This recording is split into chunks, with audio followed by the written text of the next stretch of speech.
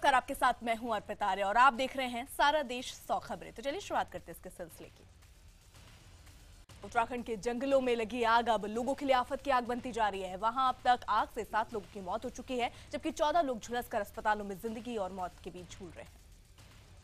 सूबे के करीब 1900 हेक्टेयर इलाके को आग ने चपेट में ले रखा है। इस आग के चलते अब तक करोड़ों रुपए की वन संपदा जलकर खाक हो गई, जबकि हज़ारों वन्य जीव भी इस आग की भेंट चढ़ गए। उधर गृहमंत्री राजनाथ सिंह ने कहा है कि इस मसले पर उन्होंने राज्यपाल के के पॉल से बात की है। राजनाथ के मुताबिक केंद्र अपनी ओर से उत्तराखंड की हर संभव मदद कर रहा है।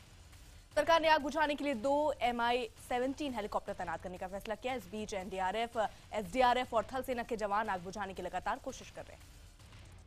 रुद्रप्रयाग में तो इतने हालात बिगड़ चुके हैं कि आग पर काबू पाने के लिए सेना को बुलाना पड़ा। हालात गंभीर होने के बाद अल्मोड़ा, पौड़ी, गोचर सहित कई इलाकों पर एसडीआरएफ और एनडीआरएफ की टुकड़ियों को तैनात किया गया।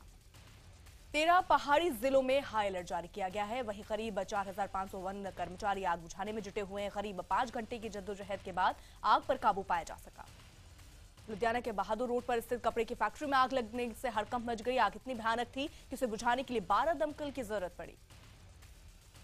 लेकिन जब तक फायर ब्रिगेड की गाड़ियाँ मौके पर पहुँची, आग ने सब कुछ जलाकर खाक कर दिया था। हालाँकि इस हादसे में किसी के हताहत होने की खबर नहीं। गुजरात के वापी में कबाड़ गोदाम में भीषण आग लगने से हड़कंप बच गया। कबाड़ में ज्वलनशील पदार्थों के होने की वजह से आग के ने विकराल रूप ले लिया। कानपुर के फर्नीचर गोदाम में भयानक आग लग गई। आग इतनी भयानक थी कि फायर ब्रिगेड की छह गाड़ियों को आग बुझाने में काफ़ी मशक्कत करनी पड़ी। आग कैसे लगी, इसका पता नहीं चल पाया। हरियाणा के करनाल में एक कपड़े के शोरूम में भीषण आग लग गई। आग लगने की वजह से शोरूम में लाखों का सामान जलकर खाक। मौके पर पहुँची दमकल विभाग की तीन गाड़ियों ने आग पर काबू पाया। देश भर में अप्रैल महीने में गर्मी और लू से 300 से ज़्यादा लोगों की मौत हो गई। सबसे ज़्यादा तेलंगाना में एक ओडिशा में 110 और आंध्र प्रदेश में 45 लोगों की मौत। ऋतिक कंगना ईमेल विवाद को लेकर शनिवार को पुलिस की साइबर सेल कंगना के घर पहुँची। इस दौरान साइबर सेल ने कंगना और उनकी बहन रंगोली के बयान दर्ज किए। पुलिस सूत्रों के मुताबिक कंगना ने ऋतिक रोशन के सभी आरोपों से इनकार किया है। वहीं कंगना के वकील ने कहा है कि उनके पास मामले के पूरे सबूत भी हैं। इस दौरान पुलिस ने कंगना से उनके अकाउंट से डिलीट हुए ईमेल के बारे में पूछताछ की। आईबीएन सेवन को मिले एक्सक्यूजिव जानकारी के मुताबिक पूछताछ के दौरान कंगना ने शक जताया कि ऋतिक और उनकी टीम ने उनका मेल हैक किया है। और उनके ईमेल डिलीट किए हैं। पूछताछ के दौरान कंगना ने पुलिस को बताया कि उन्होंने ऋतिक से कहा था कि ईमेल डिलीट होने के मामले में दोनों को साजिश शिकायत करनी चाहिए, लेकिन उन्होंने इनकार कर दिया। पुलिस ने कंगना से कई सवाल किए। पुलिस ने पूछा कि आपको ऋतिक रोशन की आईडी कहाँ से मिली और किसने दी? पाशा बासु और अभिनेता करण सिंह ग्रोवर शनिवार को शादी के बंधन में बन गए। शादी बंगाली स्टाइल में हुई इस दौरान कई फिल्मी सितारों ने शिरकत की। शादी मुंबई के एक फाइव स्टार होटल में हुई। शादी में बॉलीवुड के सभी बड़े सितारों के अलावा विपाशा के पूर्व प्रेमी टिनो मौर्य भी शामिल हुए। इस मौके पर विपाशा ने डिज़ाइनर रॉकी एस के सुनहरे और लाल रंग की लहंगा साड़ी पहनी थी। छत्तीसगढ़ के अंबिकापुर में एक इन दिनों हाथियों का आतंक चरम पर है। वन विभाग के अनुसार ये हाथी गाँव में महुआ और चावल से तैयार देसी शराब पीने के लिए आने लगे हैं और शराब के चक्कर में लोगों और घरों का नुकसान कर रहे हैं। वन विभाग के अधिकारियों के मुताबिक शराब पीने के बाद ये हाथी और अधिक मदमस्त होकर इलाके में उत्पात मचाने लगते हैं, जिसके बाद वन विभाग के लोग इलाके में छापेमारी कर देशी शराब को जब्त कर रहे हैं। यूपी के संत कबीर नगर में एक गाँव में जंगल से भटक कर आए एक तेंदुए ने जमकर तांडव किया। तेंदुए ने एक बुज़ुर्ग को जख्मी कर दिया। तेंदुए के आने की खबर सुनकर पुलिस और वन विभाग की टीम मौके पर पहुँची, लेकिन उसे पकड़ा नहीं जा सका। यूपी के शाहजहांपुर में मगरमच्छ के गाँव में आने से अफरा तफरी मच गई। अचानक मगरमच्छ के आने के बाद वहाँ दहशत फैल गई। मगरमच्छ के गाँव में आने के बाद वन विभाग के अधिकारी मौके पर पहुँचे। वन विभाग के लोग मगरमच्छ को पकड़ने में कामयाब रहे, जिसके बाद इसे गाँव वालों की मदद से फिर से नदी में छोड़ दिया गया। हापुड़ में सरेआम सड़क पर पंद्रह फीट का अजगर देखकर लोगों में हड़कंप मच गया। सड़क पर खुलेआम अजगर को घूमता देख लोगों में अफरा तफरी मच गई। अजगर घंटों बड़े आराम से सड़क पर घूमता रहा, लेकिन वन विभाग के अधिकारियों ने कोई सुध नहीं ली। लोगों का आरोप है कि अजगर सालों से आसपास के इलाकों में घूमता रहता है, लेकिन वन विभाग की तरफ़ से इसे पकड़ने की कोई कोशिश नहीं की गई। असम के मुख्यमंत्री तरुण गोगोई को पेट में दर्द की शिकायत के बाद शनिवार देर शाम अस्पताल में भर्ती कराया गया उन्हें गुवाहाटी के मेडिकल कॉलेज में भर्ती कराया गया। प्रधानमंत्री नरेंद्र मोदी आज अपने संसदीय क्षेत्र वाराणसी पहुँच रहे हैं। इस दौरान वो अंतर्राष्ट्रीय मजदूर दिवस के मौके पर एक हज़ार रिक्शा चालकों को ई रिक्शा और काशी के 80 घाट पर निषादों को ई बोर्ड बांटेंगे। इससे पहले प्रधानमंत्री यूपी के ही बलिया जाएँगे, जहाँ वो हर गरीब को रसोई तक गैस सिलेंडर पहुँचाने की महत्वाकांक्षी प्रधानमंत्री उज्ज्वला योजना का शुभारंभ करेंगे। प्रधानमंत्री के बलिया दौरे के सिलसिले में बुलाई प्रेस कॉन्फ्रेंस में बीजेपी सांसद हरिनारायण राजभर ने अधिकारियों के लिए जमकर शब्दों का इस्तेमाल किया। इस दौरान उन्होंने कहा कि बात नहीं मानी तो दफ्तर में ही उन्हें बंद कर जला देंगे। मोदी सरकार के दो साल पूरा करने के अवसर पर एक निजी संस्था ने सर्वे में पाया कि देश में पीएम मोदी की लोकप्रियता बरकरार है, लेकिन मोदी के कामकाज और लोकप्रियता का मुकाबला अन्य मंत्री नहीं कर पा रहे। अगस्ता वेस्टलैंड मामले में शनिवार को पूर्व उप वायुसेना प्रमुख जेएस गुजराल से पूछताछ की गई। सीबीआई ने करीब आठ घंटे तक उनसे पूछताछ की। गुजराल से रविवार को भी पूछताछ जारी रहेगी। अगस्ता मामले में अमित शाह के सवालों पर कांग्रेस ने पलटवार किया। कांग्रेस ने अमित शाह के आरोपों को गलत बताया, साथ ही उनके पूछे गए सवालों के जवाब में कांग्रेस ने भी तीन सवाल पूछे। कांग्रेस ने पूछा कि 2015 के डिफेंस एक्सपो में आरोपी कंपनी को एंट्री क्यों दी गई है? उधर आम आदमी पार्टी ने आरोप लगाया कि बीजेपी और कांग्रेस ने मामले में अपने हाथ काले किए हैं। उधर बीजेपी ने आरोप लगाया कि 10 जनपद पर लगे आरोपों को छिपाने के लिए कांग्रेस आधे अधूरे तथ्यों पर बचाव करने में लगी है। अगस्ता मामले में रक्षा मंत्री मनोहर पर्रिकर ने कहा कि इटली की अदालत के आदेश में आए नामों पर कांग्रेस अपना जवाब दे। कांग्रेस की ज़िम्मेदारी बनती है कि वो रिश्वत लेने वाले लोगों का के नाम जो है उनके खुलासा करे।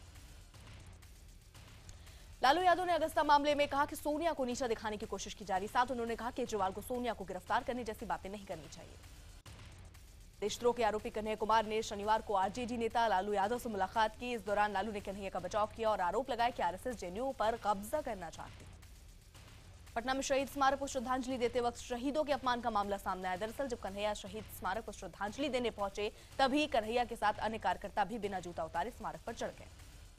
पश्चिम बंगाल विधानसभा चुनाव के पाँचवें और आखिरी चरण में तिरपन सीटों पर अठहत्तर दशमलव दो पाँच फ़ीसदी वोटिंग हुई। इस मौके पर आम लोगों के साथ सीएम ममता बनर्जी, बुद्धदेव और सौरभ गांगुली समेत कई हस्तियों ने भी अपना वोट डाला।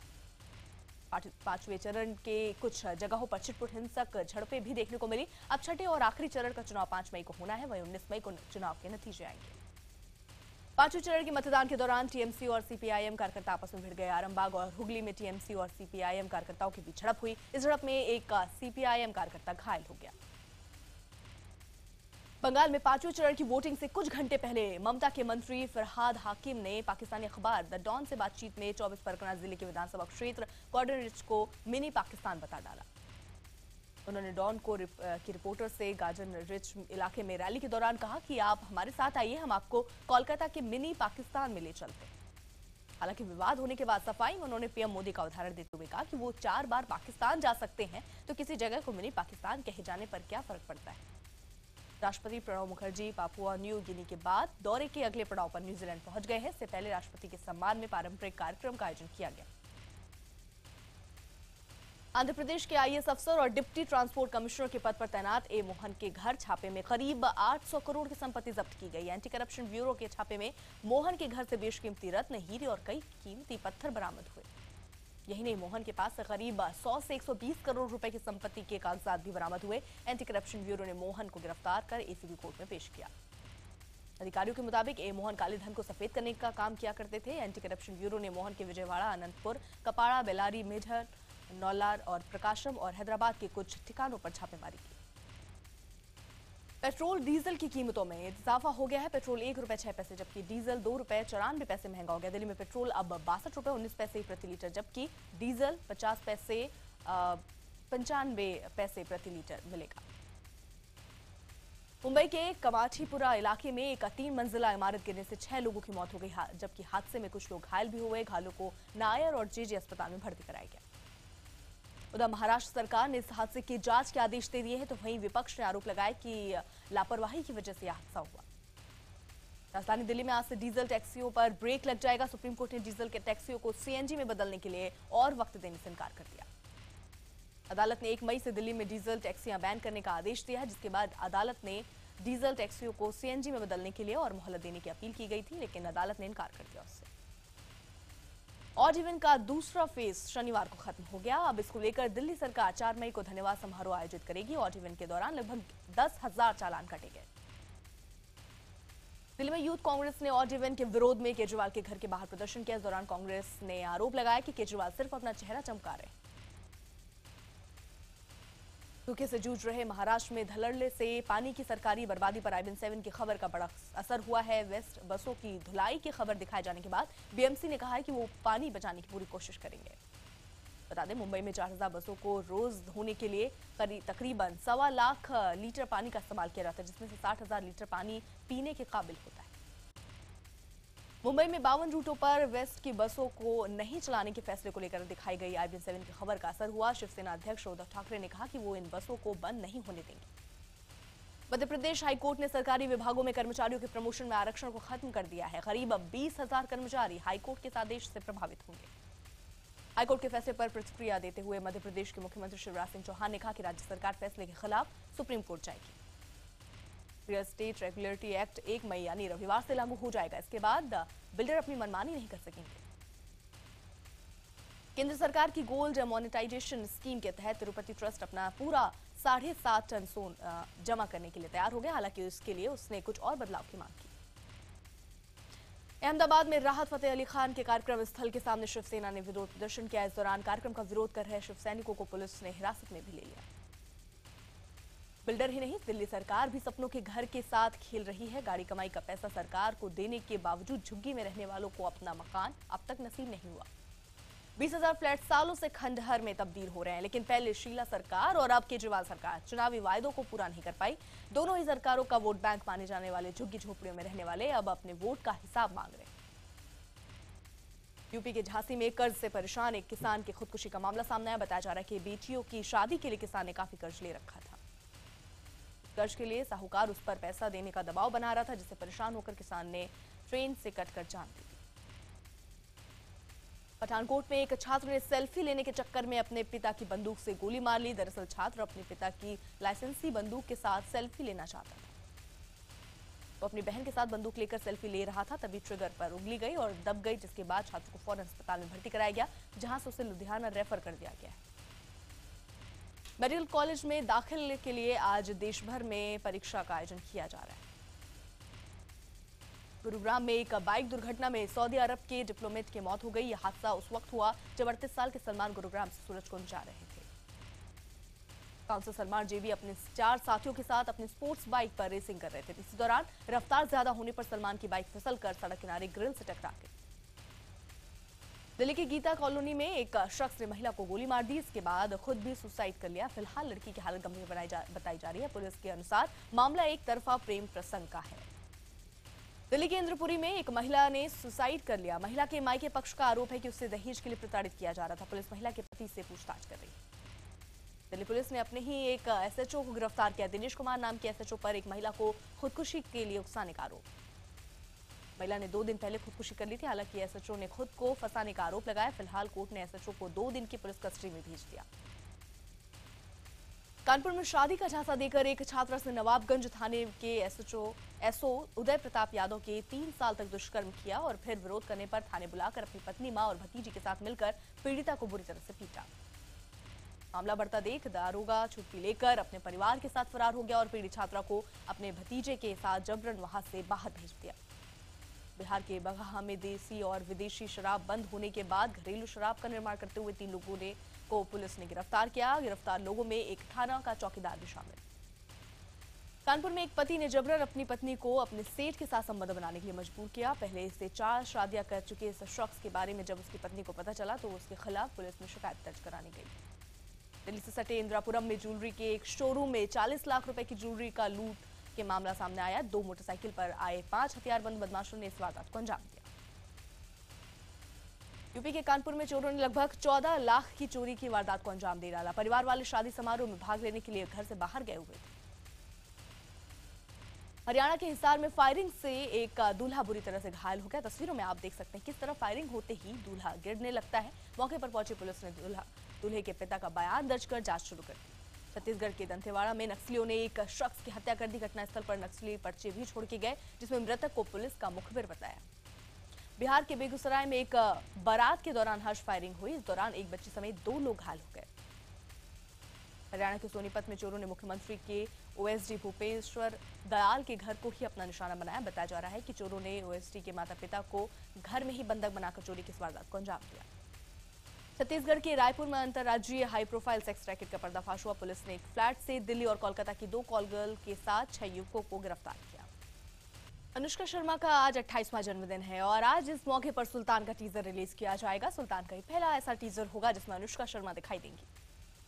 साल अनुष्का शर्मा अपने बैनर तले तीन फ़िल्में बनाएँगी। इनमें से एक फ़िल्म के लिए अनुष्का ने सैफ अली खान को बतौर लीड एक्टर चुना है। अजय देवगन की अगली फ़िल्म बादशाहों में लीड रोल के लिए ऐश्वर्या राय को अप्रोच किया गया। ऐश्वर्या को फ़िल्म के स्क्रिप्ट भी पसंद आ गई लेकिन उन्होंने हाँ नहीं कहा। शाहरुख खान की अगली फ़िल्म में रणबीर कपूर गेस्ट अपीयरेंस में दिखाई देंगे। खास बात यह है कि ये फ़िल्म इम्तियाज़ अली के निर्देशन में बनाई जा रही है। बांग्लादेश के तांगेल ज़िले में शनिवार दोपहर एक हिंदू टेलर की चाकुओं से गोद कर हत्या कर दी गई। आरोप है कि उसने 2012 के प्रॉफिट मोहम्मद के खिलाफ अपमानजनक टिप्पणी की थी। हमलावरों ने इसका ही बदला लिया। आईएसआईएस के लेकिन हैकर ने एक लिस्ट जारी की है, जिसमें उसने न्यूयॉर्क में रहने वाले तीन लोगों को अपने हिट लिस्ट में दिखाया। एफबीआई ने खुद शहर के लोगों को जानकारी दी। मैक्सिको में समंदर की सैर पर गए सैलानियों की वोट में अचानक डॉल्फिन आ गई, जिसके बाद जो खास घबरा गए। हालाँकि दो लोगों ने हिम्मत करके फिर से डॉल्फिन को समंदर में डाल दिया।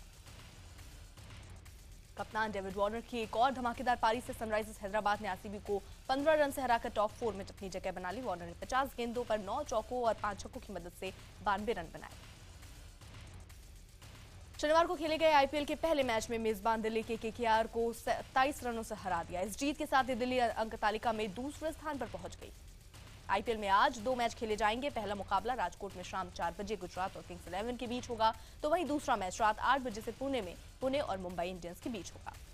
प्रोफेशनल मुक्केबाजी में विजेंद्र सिंह ने लगातार पांचवी बार नॉकआउट का खिताब जीतकर सनसनी फैला दी।